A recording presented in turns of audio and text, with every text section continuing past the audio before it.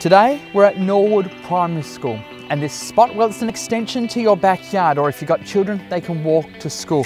What separates your back fence to this spot right here, well it's a reserve with plenty of walking and bike trails. You're going to love this spot, it's ideal. Positioned in the heart of Norwood, this home is really about convenience and a fantastic entry point to this sought after suburb.